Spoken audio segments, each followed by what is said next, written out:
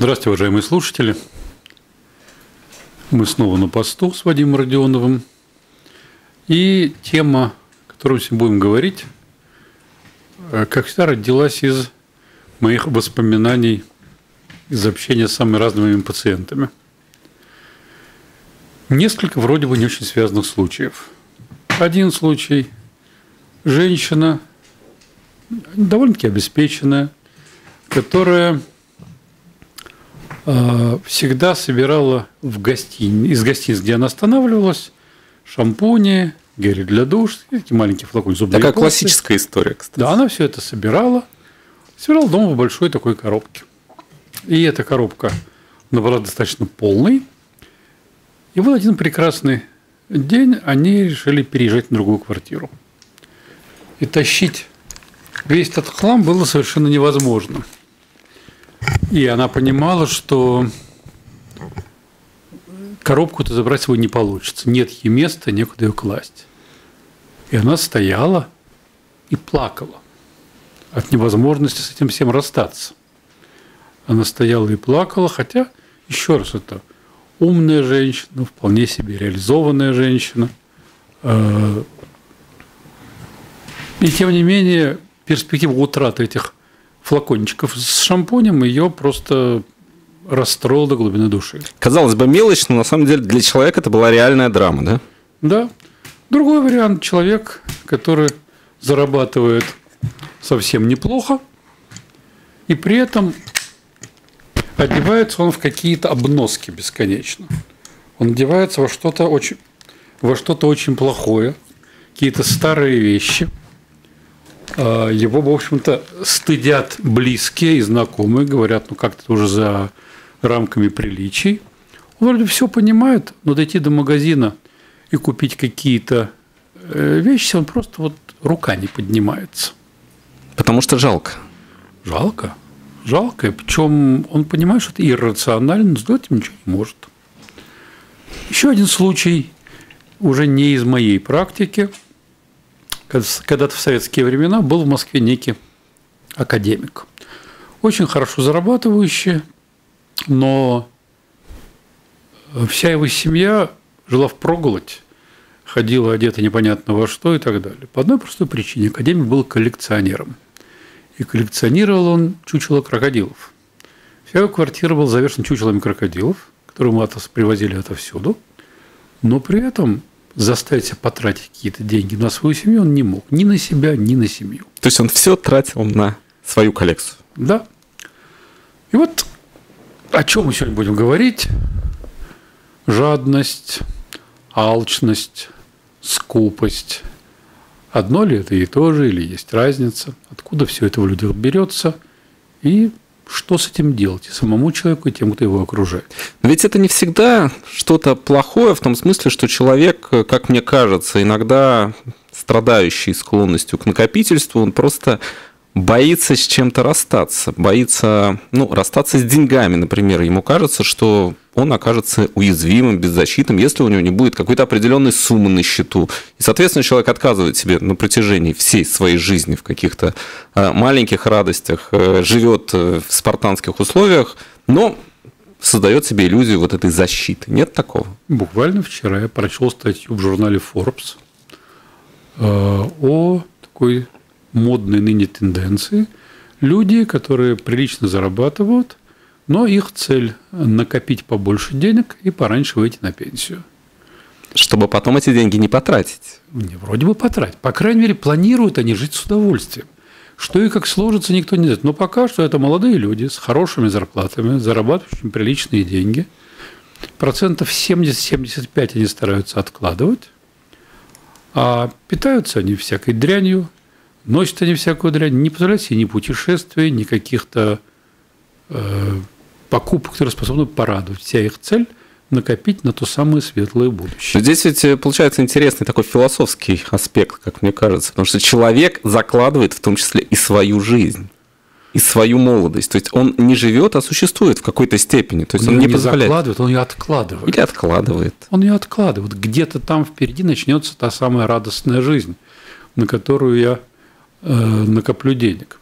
Мне почему-то приходит на голову, приходит на ум Остап Бендер, кто наконец получил свой миллион и, пытаясь перебраться через румынскую границу, был избит и ограблен румынскими пограничниками и э, оборванным и избитым отправлен обратно в Советский Союз.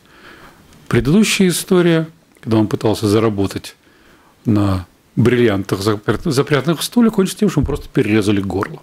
Ну, а еще был господин Корейка, кстати, и который тоже. также страдал склонностью к накопительству. Он прятал свой миллион и, в общем, ничего не мог с ним сделать. И человек... Миллионов было много у него. Ну, достаточно. Да. Я просто взял некую абстрактную единицу.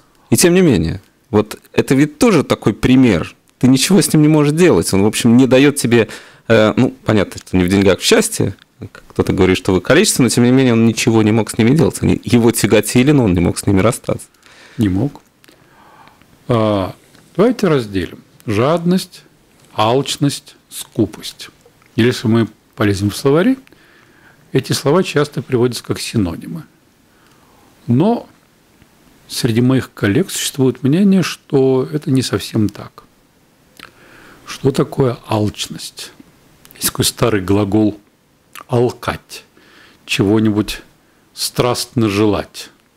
Но это жажда. Алчность – это жажда приобретения, это жажда расширения, жажда поглощения богатств, просторов. У нас звонок? Да, есть звонок. Здравствуйте, как вас зовут? Добрый вечер. Здравствуйте, Ларис. А вот как понять такую историю? У меня знакомый был, он нормально жил, и ел нормально, и одевался нормально, и на квартиру деньги не тратил, то есть тратил, что ему надо было, покупал. Но он никогда не выкидывал коробки из-под конфет. У него их столько скопилось, и вот невозможно было его заставить. В остальном он вроде бы был нормальный человек. Вот как вы это объясните? Спасибо. Да, спасибо. Если только коробки из-под конфет, а все остальное как-то выкидывалось, я, конечно, могу пофантазировать какой-то детской травме, что в детстве его не кормили конфетами, не давали, он просто не мог с ними расстаться, но но это не история про профессора, который собирал чучело крокодилов в какой-то степени, не, не перекликается? То. Тут, тут что-то другое, потому что человек-то живет вполне себе, ни в чем себе не отказывая, кроме выбрасывания коробок. Слишком мало информации, но хочется пофантазировать о детстве и конфетах. Так вот, алчность – это расширение, приобретение э, и тому подобное. Что такое скупость? Скупость – это нежелание расставаться с тем, что у тебя есть. Нежелание тратить, нежелание делиться. Мы же часто говорим «скуп на слова», «скуп на эмоции», «скуп на похвалу». То есть человек, который с чем-то очень-очень неохотно расстается. Еще звонок у нас. Примем его. Да. Здравствуйте, как вас зовут? Извините, это опять я. Я хотела добавить, что он был один из десяти детей, причем он был самый старший. Вот э, про это я хорошо знаю, остальное нет, спасибо. Да, ну, десять детей, и я уже могу представить, сколько конфет доставалось каждому из десяти. Да, и при этом старший же обычно за всех в ответе ему говорят, ты старший, они маленькие, ты обойдешься. По крайней мере, среди моих пациентов часто встречал истории, когда только рождались младшие братья и сестры, старшему говорят, ты уже взрослый, детство закончилось. Теперь должен помогать и ни на что особо не претендовать. Еще звонок у нас? Давайте. Здравствуйте, как вас зовут? Э, здравствуйте, Елена. Здравствуйте. Да, слушаю вас. Э, добрый день вам и вашему гостю. А, по поводу скупости я немножко не согласна с э, вашим гостем. Я считаю немножко иначе, потому что скупость это не всегда э, то, о чем э, было озвучено.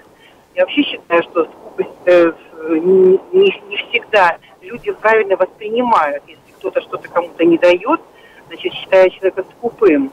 Я, например, тоже иногда не считаю э, правильным кому-то что-то покупать или давать. И, может быть, кто-то меня тоже может посчитать скупой. Хотя на самом деле э, я открытая по жизни женщина во всех отношениях, и я себя не считаю скупой. Просто есть люди, категория людей, э, я с ними солидарна во многом, да, люди просто умеют считать свои средства и не тратят просто, не тратятся, даже в риторическом плане не тратятся, не распыляются на очень многих людей, не имеющие вообще да. ничего общего с этим человеком. Спасибо вам, да, спасибо за мнение. Уважаемая Елена, я ни в коем случае хочу сказать, что любой человек, который не хочет с кем-то чем-то поделиться, скупой. Никто не обязан всем все отдавать. Но мне кажется, когда мы говорим о людях, которые патологически не способны с кем-то делиться чем-то, с чем-то расставаться из материальных ценностей, ну, я вас отправляю к классику, к Александру нашему Сергеевичу, к маленьким трагедиям «Скупой рыцарь». Прекрасно описано, что такое для человека э, скупость и что такое, когда перспектива с чем-то расстаться его убивает.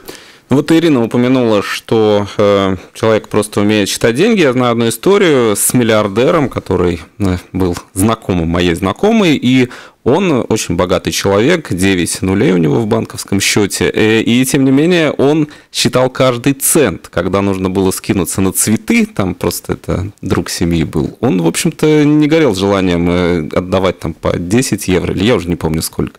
Ну, то есть речь шла о смешных для него деньгах, но тем не менее человек, ну, он страдал, потому что нужно было это потратить. Это реальная история, которую я знаю. Охотно верю. Смотрите опять, понятие скупости, жадности – если когда-то была культура дворян, рыцарей и так далее, где считалось доблестью и достоинством сорить деньгами, не накапливать их, что, как ни странно, а, объединяет рыцарей и дворян с ворами в законе, которых, насколько я помню, как было написано, вор не должен ничего накапливать, вор должен все украденное прогуливать и пропивать. И ни в коем случае не копить блага мирские – потом появилась на свет та самая протестантская этика. Протестантские страны, Германия, Швейцария, где доблестью стало трудиться, зарабатывать, не сорить деньгами.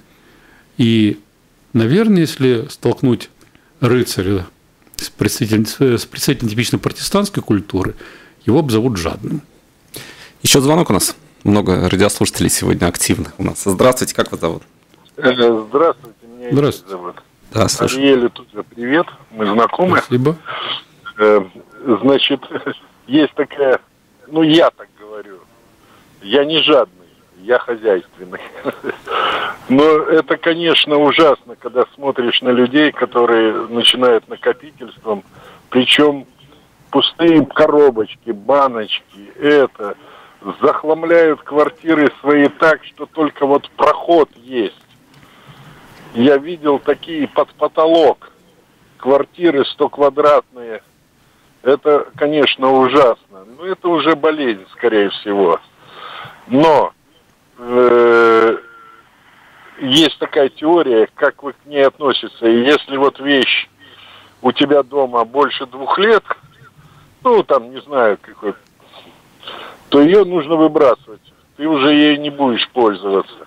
Хотя у меня тоже такое было. И главное, выбрасываю, и буквально через три дня мне нужна она. Да, вот спасибо. Это... Спасибо вам, мы поняли, да, ваш вопрос.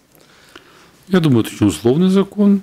Весь вопрос в том, есть вещи нам дорогие, которые проносим через всю жизнь. Что-то оставшееся с детства, какая-то любимая вещь, которая нам, у нас связана с потоком очень приятных для нас ассоциаций. Например, мама или папа подарили и этот может человек какую-то вещь принести через всю свою жизнь. Да, у кого-то хранятся детские игрушки, у кого-то хранятся детские книги, у кого-то хранятся какие-то сувениры, связанные с какой-то важной частью жизни или важным для тебя человеком. Я, кстати, очень люблю возвращаться к книгам, которые были подарены мне в детстве. Вот я некоторые из них не люблю перечитывать. Я не люблю переч... перечитывать, я люблю к ним иногда возвращаться. Может, когда бывает, что перечтешь и разочаруешься. Кстати, Жюль Верна я перечитал не так давно и не разочаровал. Хотя, конечно, он не так уже воспринимается, ну, как в юности, но тем не менее. Некоторые считают, что жадность – это и сумма алчности и скупости. А, если говорить об уровне патологии, ну, я думаю, что в первую очередь жадность и скупость делают людей несчастными. И их, и тех, кто рядом с ними. Потому что очень редкая история, когда человек жаден и скуп на вещи и деньги, и при этом щедр на теплые эмоции и слова. То есть он все равно живет в страдании. Он живет в одиночестве, он живет, охраняя какие-то свои реальные или вымышленные ценности. Он живет, ну, в общем, человек скупой, который оберегает свои сокровища, все время ощущает их под угрозой. Это как Скрудж Макдак. Помните, Да. он купался в своем большом сейфе, Да, в хранилище точнее. Считает, кругом находятся жулики, алчные родственники, еще только и мечтают забрать у него то, чем он дорожит. Ну вот радиослушатель нам прислал вопрос по WhatsApp. А чем скупость отличается от бережливости? Я думаю, бережливость, ну опять, кто как назовет. Я думаю, если будет стоять со стороны, то бережливость рациональна. Бережливый человек расстанется с э, какими-то старыми ненужными вещами, сохранит необходимое. Бережливый человек не будет сорить деньгами, кутить и прогуливать их, но он э, вполне себе охотно потратит их на какое-то важное дело, на помощь кому-то из близких или, может, кому-то больным людям тоже он, он может помочь. Мне кажется, что бережливый человек может позволить себе э, в том числе как-то развлечься, ну, условно говоря, Да. сходить в бар, э, потратить определенную сумму денег и не испытывать потом из-за этого угрызения совести. Ну, Думаю, бережливость – это то, что не делает жизнь человека дисгармоничной. Ни в коем случае. Бережливость позволяет человеку продолжать нормально функционировать в обществе с близкими людьми. И все-таки деньги и вещи из него как приходят, так и уходят куда-то. Я думаю, скупец – это такой тупик, где все имеет тенденцию заканчиваться. Но Ну, в скупость идеале он это- все потребляет и ничего не отдает. Скупость – это разрушающее чувство человека. Разумеется. Разумеется. То есть Ну, личность рушится. Давайте вспомним опять литературу. Тот самый «Скупой рыцарь», «Коробочка» у Гоголя, Плюшкин. Это все, во-первых, это все одинокие люди, это все несчастные люди, это все люди, которых полно накоплений и полностью отсутствует хоть какая-то связь с окружающим миром. Это достаточно грустные истории, и я всегда считаю, что э, классики литературы куда полезнее для понимания человеческого характера, чем любые книжки по психологии. Сейчас мы сделаем небольшой перерыв, потом вернемся и продолжим. Программа «Диагноз недели». Оставайтесь с нами. Mix News. Мы продолжаем. Это программа «Диагноз недели». В студии работает врач-психиатр Ариэль Резник-Мартов. Меня зовут Вадим Родионов, звукорежиссер Родион Золотарев. И говорим мы сегодня о скупости, алчности и жадности. Три кита таких у нас сегодня в эфире. О, да. Эм, Что интересно, что я думаю, что жадные и скупые люди по-настоящему, как ни странно, от того, что они накапливают, практической пользы и удовольствия, скорее всего, не получают. Это мне чем-то напоминает азартных игроков, которые ходят в казино, в игральные аппараты, вроде бы, чтобы выигрывать деньги. Но деньги для них потихоньку теряют всяческую ценность. Деньги становятся только способом продолжать игру. Но в этом ведь э, они не видят некого смысла, накапливая и вот думают, вот сейчас что-то произойдет, сейчас я стану счастливее, если у меня будет условно не 10 тысяч, а 20 тысяч, не 20 тысяч, а 30 тысяч.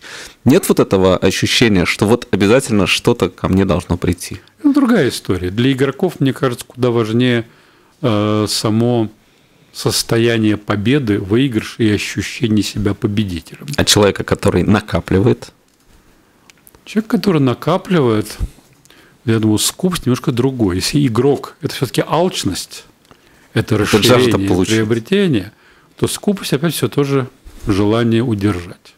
Кстати, одна из теорий, объясняющих скупость, теория Фрейда, часто возмущающая, было, было учение о стадиях развития детской сексуальности, и одну из стадий он назвал анальной, э, с 18 месяцев до 3 лет, если не ошибаюсь.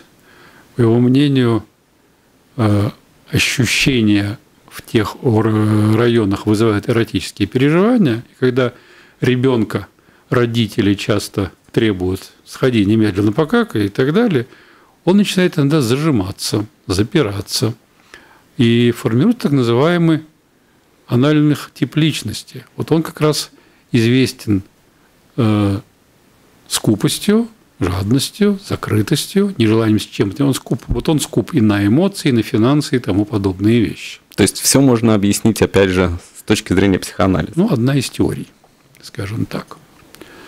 А, Что еще, мне кажется, один из таких типов именно алчности, жадность-алчность, это то, что называется шопингомания.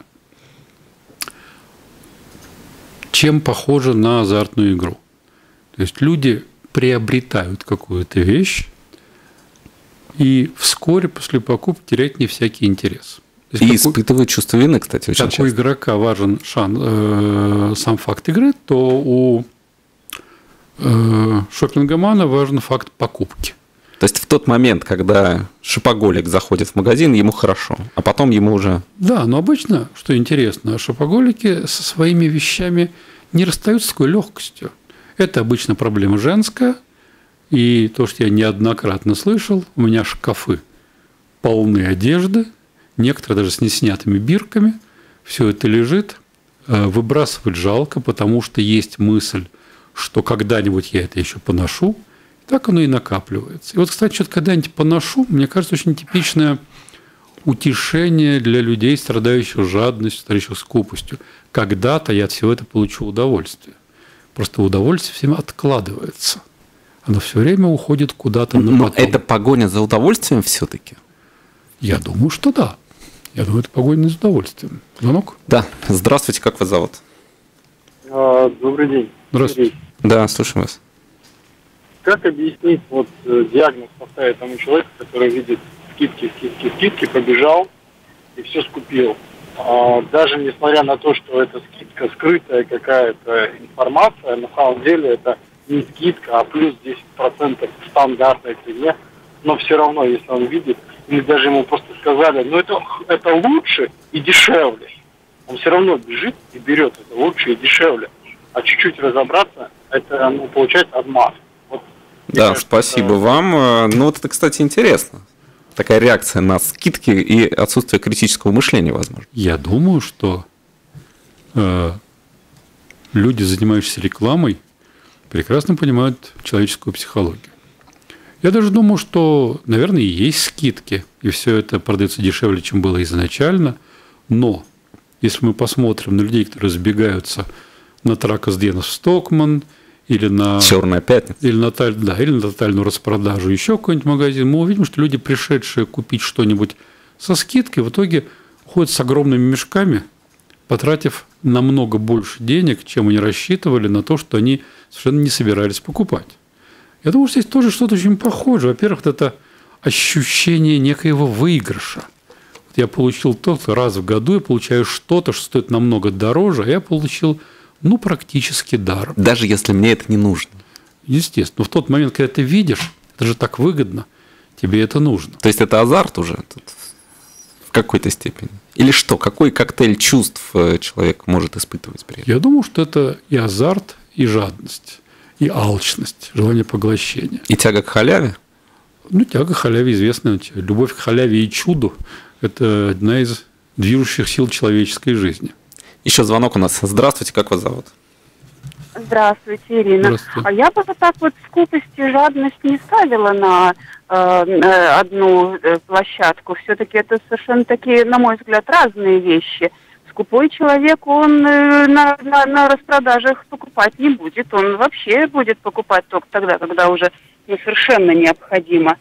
Ну вот, или ну что-то как-то вот в нем вдруг что-то случилось. Так потому же мы и делим, знаете, Ирина, на скупость и алчность. Это разные вещи. Да, да, да, вот. э, И, и э, к сожалению, мне э, приходилось встречаться и довольно близко общаться с, с персонами, которые скупые. И скупые они, конечно, во всем. Да, то есть они скупы на эмоции, на действия, на подарки и, и даже не подарки. Они скупы к себе, они скупы к другим.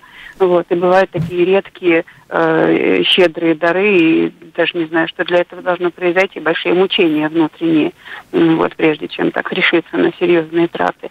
Вообще, конечно, очень серьезная проблема, потому что ну, вот, ну, люди не живут. Они где-то так вот э, умерли эмоционально и почти физически еще до самого факта смерти. И это Да. очень печально. Спасибо вам. Еще много у нас звонков. Э, ответить, и потом примем или сразу примем? Как Давайте сразу примем. Давайте сразу. Здравствуйте, как вас зовут? Здравствуйте, Татьяна Здравствуйте. меня зовут. Да, Татьяна, слушаем Вот вас. скажите, пожалуйста, вот мой самый близкий человек, допустим, может потратить 100 евро, не моргнув глазом, а из одного евро может удавиться. Скажите, пожалуйста, какого типа Да, спасибо. человек и характера какого? Спасибо. Я, кстати, слышал такие Кстати, истории. сколько-то близкий человек ваш, а не наш. Мы не знаем, на что он охотно тратит 100 евро, а на что он не может потратить 1 евро. Здесь, Я мне кажется, задолжение- есть такая классическая схема. Можно потратить 100 евро, условно говоря, на деталь для автомобиля и жаль потратить 1 евро на хорошую еду, допустим, домой. Я знавал одну даму, которая легко и охотно покупала полкило черной икры, но при этом устраивал своему мужу скандал, если покупал яйца не за евро 20, а там за 3 евро, допустим. Бывают и такие истории. Но чем это можно объяснить, кстати? Это вопрос приоритетов. Это даже не приоритеты, это какое-то ощущение этой внутренней бережливости, это ощущение, что я делаю нечто полезное для дома. А с другой стороны, такое, наверное, ощущение, что я себя чувствую виноватой, когда трачу деньги. Поэтому, вот, кстати, азартные игроки, что про них знают все их родственники, они проматывают тысячи, сотни и тысячи в казино и в аппаратах, и при этом, когда они ходят в магазин, они экономят на всем. Они купят кусочек ветчины поменьше и подешевле. Они отложат покупку какой-нибудь куртки, на потом старая еще годится и так далее. Есть какие-то компенсаторные вещи, вполне работающие. Но в этом нет такого, что тратить на обыденность, на покупку, ну, допустим, яиц, хлеба и так далее, как-то жалко, но это же обыденность. А на праздник купить себе черную икру можно. Вот это покупка себе какого-то ощущения. Я думаю, что это скорее, конечно, внутреннее выяснение отношений человека с самим собой, где он пытается экономией э, загладить какие-то другие вещи. Если мы говорим об алчности, ну, на самом деле, давайте будем откровенны. Если мы отбросим политкорректность, э, Америка была открыта благодаря алчности. Америка была завоевана благодаря алчности многочисленные колонии Европы и Америки были э, освоены благодаря алчности. До революции в науке и технике были во многом благодаря алчности. Купеческие маршруты, люди, которые отправлялись с караванами в неизвестные совершенно места, люди, которые плыли на кораблях, рискуя погибнуть. Вроде бы это тоже алчность, и это была погоня за деньгами, но благодаря этой алчности были э, сделаны великие географические открытия, были сделаны совершенно интересные исследования, были открыты какие-то совершенно неизвестные растения, виды животных, полезные ископаемые и тому подобные вещи. Ну, бизнес ведь построен на чужие, алчности. описаны чужие культуры. Вспомним знаменитого Марко Поло, который как отправился со своим папой и дядей в путешествие в Китай, по-моему, только лет через 25 туда и вернулся, Какая Одиссея. описав все, что можно было по пути описать. Но бизнес ведь э, построен на алчности. Это главный механизм, который, в общем-то, поддерживает существование бизнеса частного. Да и государственного тоже. Государства тоже хотят зарабатывать. Умные государства. Я думаю, что алчность, к сожалению, рано или поздно начинает губить. Ну, например, известные нам все исторические империи гибли тогда, когда они расширялись до тех пределов, которые были не в состоянии контролировать. Точка невозврата. Да, то есть империя огромна, контролировать все это невозможно, начинает распадаться. Я думаю, хороший пример той самой алчности, не доводящей до добра. Вот тогда алчность меняется скупостью. Надо уже сохранить и удержать то, что ты имеешь, а это становится все тяжелее. Ну, алчность э, тяжело переходит в скупость. Э, И может ли вообще перейти в скупость? Потому что, как мне кажется, это э, не совсем смежные понятия. Я думаю, что может перейти в тот момент, когда ты уже не в состоянии получать новое, а с тем, что есть, расставаться ужасно жалко. А, а, кстати, еще один замечательный пример того, к чему приводит алчность. Вспомним знаменитого царя Мидаса, который оказал услугу богу Дионису. Если не ошибаюсь, он нашел заблудившегося учителя Диониса Селена и вернул его Дионис. Дионис так обрадовался, что попросил Медаса, сказал, я исполню любое твое желание. Медас человек был торопливый, не думал своих желаний, сказал, я хочу все, к чему я прикасаюсь, прикасаюсь превращалось в золото. Ну, классическая история. Он взял в руки камень, тот стал золотым, он взял в руки палку, это стало золотым, обрадовался, вернул к себе во дворец, решил устроить пир. Кто взял в руки кусок хлеба, тот стал золотым. Он поднес к губам бокал с вином, и вино превратилось в золото. И он понял, что скоро умрет. Он отправился к Дионису умолять забрать назад свой дар. Здесь еще интересно, что он таким образом мог и демпинг устроить. Ну, это если, в общем, смотреть на ситуацию с точки зрения, если бы золота стало слишком много, оно бы потеряло свою цену. Это с современной экономической точки зрения. Но во времена Медаса об этом не размышляли. А давайте потом, откуда все это берется. Ну, теорию Фрейда мы уже слышали. Мы о ней говорили. Некоторые относятся к психоаналитическим теориям с подозрением, уже больно для них непривычно звучит, но в любом случае есть о чем задуматься. Что такое жадный, скупой человек? Ну, во-первых, наверное, это человек, если мы возьмем наиболее такую э, трактовку, э, понятно, человек, который часто люди, которые выросли в нищете. Вот уже упоминавший когда-то рассказ Джека Лондона, и человек, который э, брел через тайгу, умирал от голода, и уже умирающим фактически он выполз на берег моря, заметил вот корабля, спасли – откормили, но заметили, что он все время ворует со стола э, хлеб и сухари и прячет у себя под матрасом. То есть, когда ощущение опасности, ощущение угрозы э, продолжает над тобой, над тобой висеть. Но это Солженицын написывал в одном дне Ивана Денисовича про краюшку хлеба, который да? хранишь как великий дар. Говорят, что люди, пережившие войну и голод, никогда не выбрасывали хлеб. Ну, я помню свою бабушку, которая не запрещала выбрасывать хлеб. И до сих пор это тяжело, кстати, сделать. Если мы помним, в советском законодательстве была, по-моему, уголовная статья для людей, которые покупали хлеб, чтобы откармливать свиней или что-нибудь в этом духе. Это мы говорим о ситуации, когда человеку в детстве не хватило еды, вещей, денег и так далее. Но, конечно, мне кажется, и алчность, и скупость все равно родом из детства. Ну, как все у нас. Есть некоторые из прошлых жизней, но в прошлых жизнях я не очень разбираюсь, поэтому буду говорить о детстве. Я думаю, что это прозвучит банальностью, но человек, которому в детстве очень не хватило любви, часто пытается, что называется, взять деньгами. То, То есть, есть купить это чувство. А, вместо любви он накапливает некие иные ценности.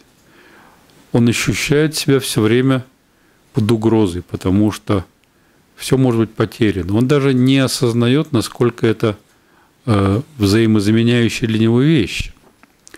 И не всегда это связано с тем, что его родители были э, жадными. Ну, вот я знал ситуацию, когда человек просто вырос – у матери-одиночки, которая работала на трех работах. Она его не видела. Она его не видела, он ее не видел. Он сидел у соседей все время, ей надо было его прокормить. И этот человек э, стал азартным игроком в итоге. И тоже его отношения с деньгами были очень сложными. А я думаю, что есть ситуации, когда э, человек пытается компенсироваться. Он пытается компенсировать отсутствие любви, привлечение к себе внимания достатком. Покупкой дорогих вещей, причем не просто дорогих, а тех, которые бросаются в глаза, тех, которые будут оценены окружающими. Это ощущение, что если я богат, то меня точно полюбят. Но здесь, мне кажется, как раз вопрос о показательности успеха. Я недавно читал статью об успешных людях, который как раз э, разбирался этот момент, и многие из них говорили о том, что когда э, о тебе пишут в глянцевых журналах, складывается впечатление такой красивой жизни. Вот человек добился всего. На самом деле это, во-первых, не так, а во-вторых, э, вот это стремление к успеху и получение какой-то там очередной должности дает ощущение счастья только на первые там, пару дней, а потом все это придается, и ты становишься заложником этой гонки для того, чтобы что-то кому-то доказать. Это про это получается. Есть известная история о вдове президента Кеннеди, Жаклин Кеннеди, кто пошел замуж за миллиардера греческого Анасиса, стал Жаклин Дионасис. Кстати, тоже стала миллиардершей, но при этом в каком-то отеле забыла старый свитер, устроила страшную переписку с требованием вернуть его, грозила подать в суд и тому подобные вещи. Не знаю, каким было детство Жаклин Кеннеди Анасис, но мне что-то подсказывает, что чего-то важного там не хватило. Что нам делать с жадностью и скупостью? Во-первых, это важно как-то, мне кажется, все распознавать. Потому что человек, который жаден и скуп – даже если он себе говорит, да, я такой, я жадина, я скупердяй, это в глубине души он таки не считает. Это его такая ироническая защита. То есть можно сразу все объяснить и ничего потом да, не вкладывать. Если мне говорят, что я жаден, да, вот такой вот я жадина, не трогайте меня, ничего от меня никто не получит. А для чего это важно распознать в себе? Потому что жизнь жадного скупого человека, по идее, очень тяжела. Потому что на его отношения со всеми его близкими, неважно, это его женщины, мужчины, дети, а, будет наложен неизбежный отпечаток, который все испортит. Это как, ну не знаю, порча такая, назовите ржавчина, которая покрывает, хотя говорят, золото не ржавеет, естественно, но на отношения не распространяется. И я думаю, человек даже не понимает, что он пытается сделать, потому что ни жадный, ни скупой человек счастливым не будет. Он даже жизнерадостным не будет. Он может получать некое удовлетворение от новых приобретений или озирая то, что у него накоплено. Но это очень краткосрочно. Да, но вот опять мы вспоминаем историю коробочки с шампунями. Мягко говоря, не богатство, но расстаться просто невозможно вызывает слезы. И естественно, что у этого, что это метафора. Естественно, что-то, с чем невозможно расстаться, это компенсация чего-то очень нехватившего в детстве. Тепла, любви, чего угодно. Поэтому лишиться еще и этого просто невозможно. То есть все гораздо глубже, чем может показаться. То есть это история не про вещи, на самом деле. Нет, конечно. Нет, конечно. Потому что опять, как мы говорим, человек скупой отличается от бережливого тем, что от своих накоплений удовольствие не получают. Получают удовольствие только от осознания, что они есть. Сам факт очень приятен, сам факт греет душу. Но это действительно такое искреннее удовольствие? Или это уже, как у опытного наркомана, просто ощущение некой такой, уже принимаю наркотик не для того, чтобы получить удовольствие, а для того, чтобы не было плохо? Я думаю, что искреннее, но кратковременное. Думаю, что какое-то время можно... Открыв шуфлядку, да. увидев, что там что-то есть. пересчитать, положить обратно. А дальше начинается все та же серая жизнь, потому что если ты скуп на эмоции, ну ты ведь жаден по отношению к себе самому тоже. Ты и себе не додаешь. То есть все, что ты накапливаешь э, в материальном виде, это те самые эмоции, та самая радость, то самое счастье, которых ты себе не додал. Человек на самом деле экономит на себе – жестче, чем на ком-нибудь другом. По идее, конечно, и жадность, и алчность, и скупость – это такая форма очень невротического поведения. Но это бессознательная история?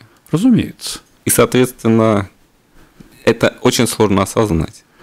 Это сложно осознать. Человек в какой-то момент, наверное, понимает. Ну вот человек, который ко мне пришел из этих шампуней, понимал, насколько иррационально его поведение. И это уже первый шаг к освобождению. Ну, что поискать помощи уже хорошо.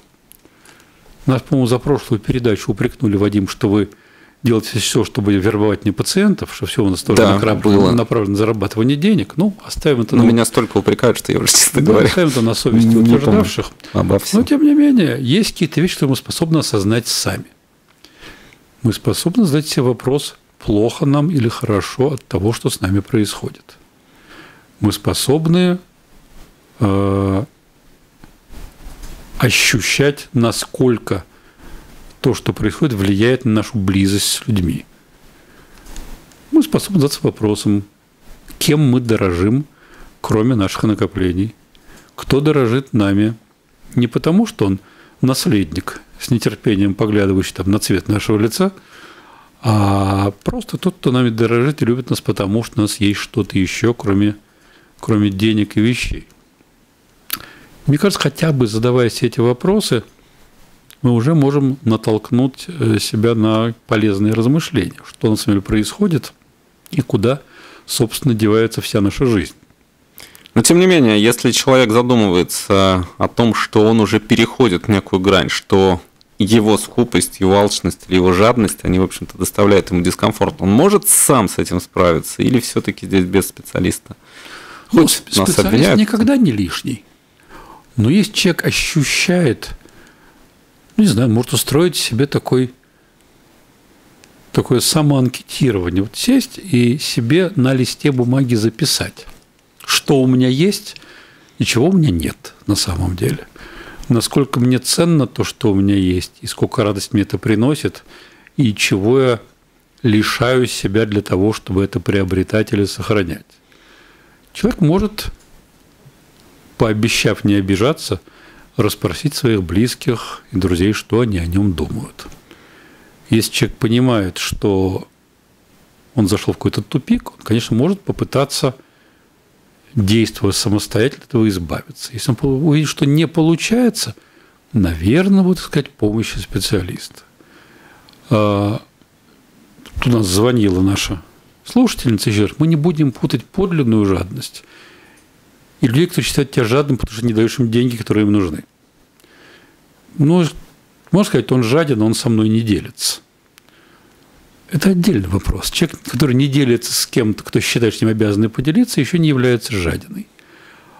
А если это носит какой-то тотальный, универсальный характер, если ну, все свете... скидываются, а я не буду, если например. вообще нет людей, с кем ты хочешь чем-то поделиться, значит, с тобой все очень плохо. Значит, ты в итоге окажешься наподобие царя Медаса с кучей материальных ценностей, ну, тому не было, нечего было пить и есть, а тебе некого будет обнять, некого будет, некого попросить сочувствия, не с кем будет провести время в удовольствие, что, в общем-то, конечно, не убивает так быстро, как отсутствие воды и пищи, но тоже ни к чему хорошему не приводит. Это приводит к одиночеству. К одиночеству, к печали – и к одинокой несчастной старости, если до нее доживаешь, конечно. Ну что ж, на этом мы сегодня закончим программу «Диагноз недели». В студии работали врач-психиатр Арель Резник-Мартов. Меня зовут Вадим Родионов. Я с вами не прощаюсь. Мы встретимся через час в программе «Вечерний интерактив». Впереди программа «Открытая кухня». Арелю мы говорим до свидания. Всего через доброго. неделю, да, мы да, встречаемся? на следующей неделе меня не будет. Увидимся через неделю. Через неделю. До Всего свидания. доброго.